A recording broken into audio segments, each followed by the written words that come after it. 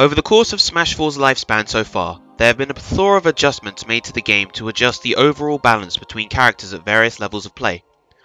Some characters have received their share of nerfs and changes to tone down tools deemed too powerful or centralizing, but for the most part the cast has gotten better compared to the 3DS days, leading to a greater number of competitively viable characters. However, what this video hopes to discuss isn't explicitly the overall character balance, but rather dissect these changes and what they do overall with regards to the competitive design of the game. As somebody who had been involved with the development of Project M for over 4 years and has been a tournament player for a similar amount of time, I like to think I've picked up a little thing or two with regards to game design, or at the very least the design of competitive Smash. While defining good competitive design is difficult, it's important to understand what overall elements of character design and interaction correlate to bring about an experience that offers competitive depth and variety. In this sense, character and game balance serve not only as independent elements from design, but rather as components that complement the idea as a whole.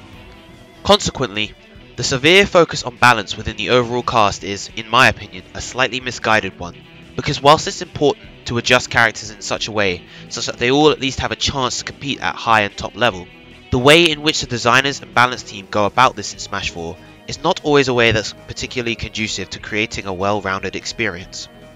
In the most recent update for Smash 4, version 1.1.3, Bowser received a notable change to his up throw which lessened its damage but increased its speed, reduced its end lag and decreased its overall knockback to make it work as a combo throw. True comboing into follow-ups at low percents and setting up for 50-50s and even death setups at higher percents.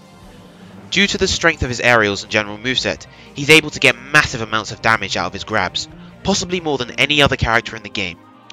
This, coupled with his fantastic jab, one of the safest in the game, and his amazing grab range mean that not only can this character kill you in a small handful of grabs, but he also has solid ways to pressure you to secure his grabs. The issue with this, however, is that despite it making Bowser a very solid character now in terms of how he can perform, his design has become incredibly linear and shallow, because it just revolves around using a tiny handful of incredibly powerful options excessively to dish out absurd amounts of damage.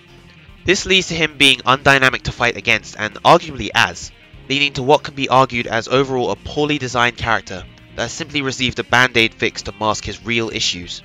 In order to understand how to better improve a character whilst retaining a design that allows for competitive dynamic gameplay, the first step is to understand a character's flaws, and not only what they do in terms of holding a character back, but also the severity comparative to the rest of the roster. In the case of Bowser, it's clear he's designed to be a heavy bruiser type character. A character that has a plethora of hard hitting attacks that are relatively high commitment but are generally capable of overwhelming the foe if properly placed.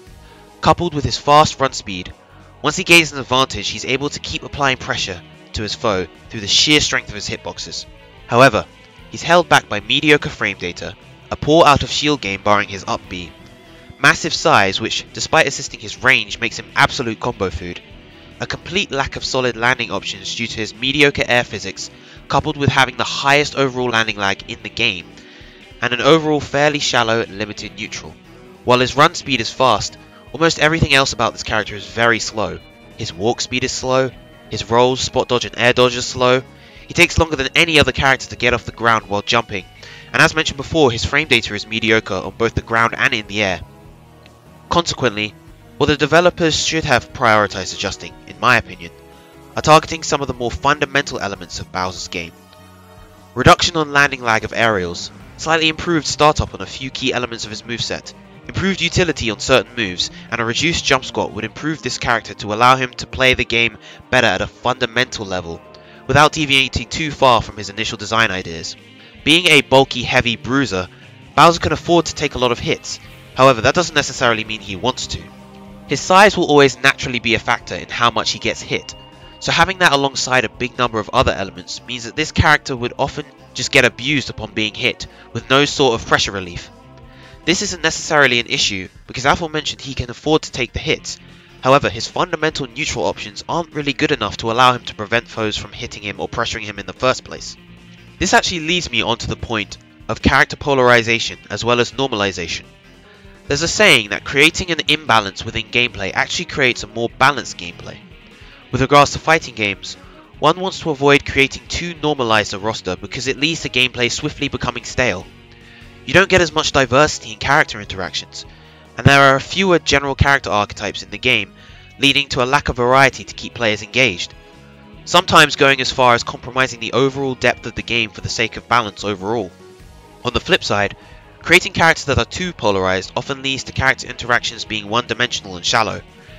Gameplay becomes binary and unengaging in a different way, and if a character is actually good, they can become frustrating both from an opposing player and spectator standpoint. The most prominent examples of this in Smash 4 by far are Little Mac and Jigglypuff.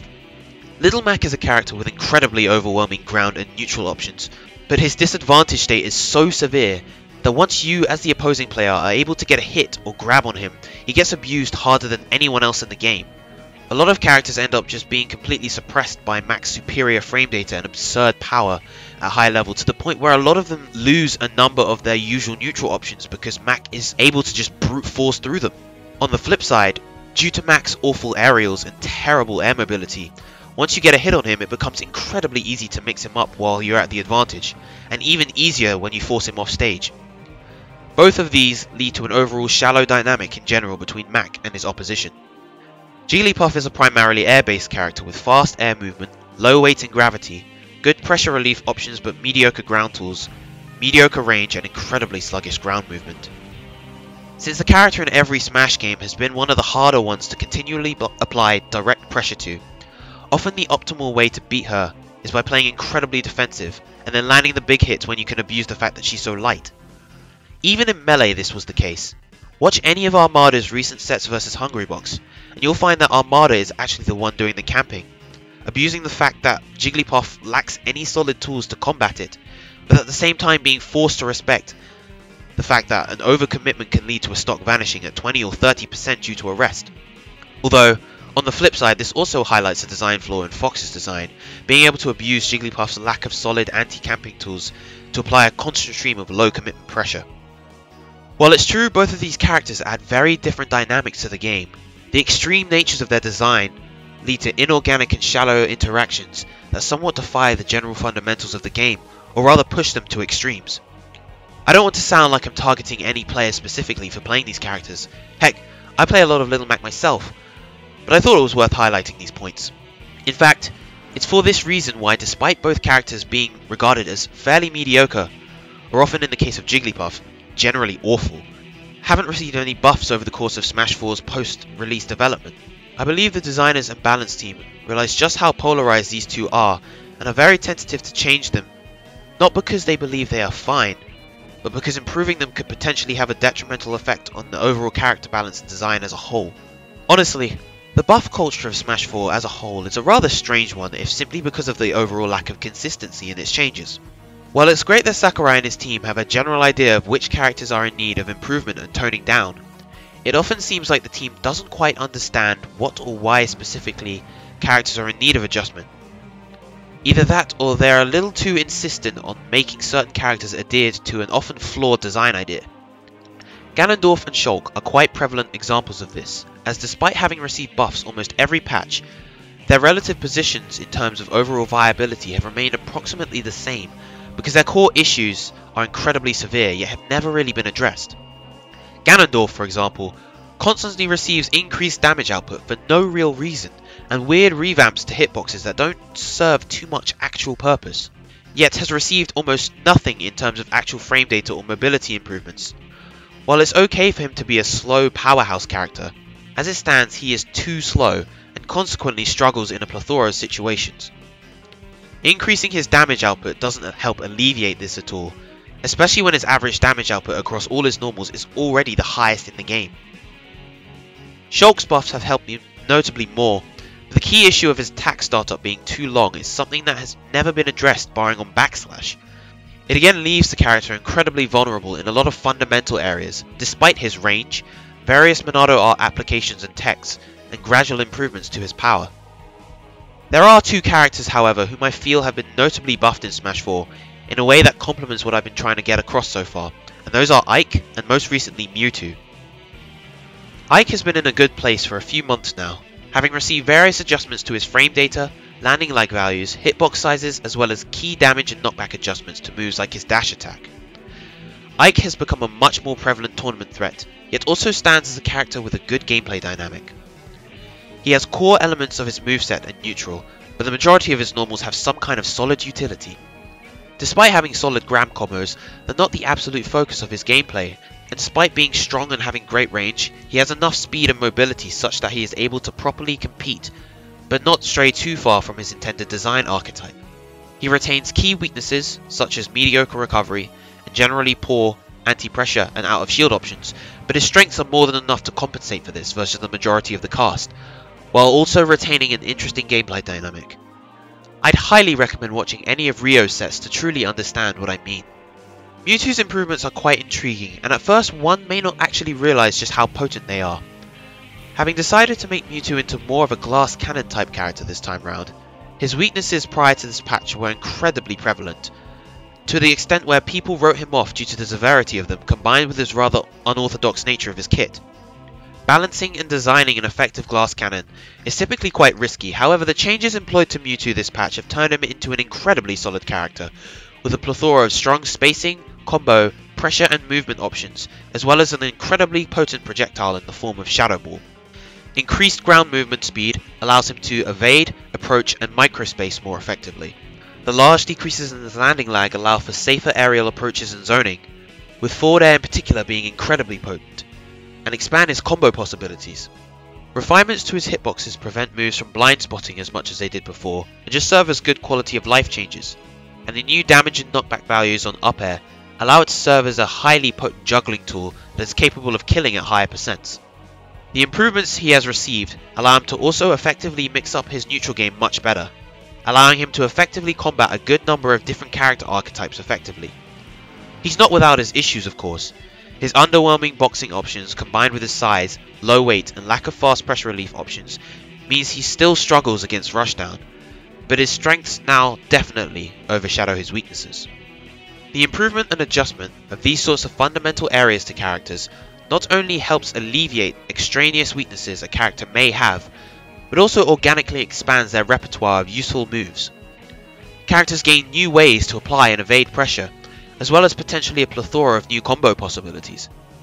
This, in turn, leads to a more interactive, interesting and involvement character dynamics, and consequently, better character design and a better competitive experience. It's hard to judge Smash 4's competitive future as a whole, even after a year of development. There are so many factors and so many characters. The scene is growing ever rapidly and there is certainly an abundance of up and coming players, exploring characters in new ways. If we were to assume that the patch in February to come alongside Corrin and Bayonetta was the last patch, then the game, while having its share of problems, would be in an interesting place, balance and design wise. I do want to spend a little time to focus on one last character however, the current dominant threat of Smash 4, Sheik. While Sheik is arguably the least dominating and potent of all the top characters in previous games, largely due to how she interacts with the current set of top tiers, her toolkit also allows her to harass various lower tier characters, to the point where a Sheik played on point would render a good portion of the cast unusable at top level. The main culprit in question here, in my opinion, are her needles. Despite their low damage, their high knockback growth, fast travel speed, incredibly low startup, and transcendent properties grant this character fast, safe, near full stage length stage control that's ambiguous and restricting. Characters who are typically forced to play a defensive or projectile heavy game often can't against Sheik because she's able to outcamp them despite primarily being a rushdown character. Alongside having fantastic mobility, frame data and close to mid-range pressure options, having an absurdly good projectile ends up being excessive in the grand scheme of things, and also ends up being toxic. I personally feel an adjustment to needles to make them function closer to Brawl needles alone would make this character a lot more manageable for a large number of characters. Thank you for watching this video. While I openly admit that I may not be the most knowledgeable person on the subject, I at least like to think I know enough to help inform people and spark discussion. The focus the community in general has had on character balance over design is something that has bothered me for quite a while, so I really wanted to make this video as thorough as possible. This is Silent Doom, peace out.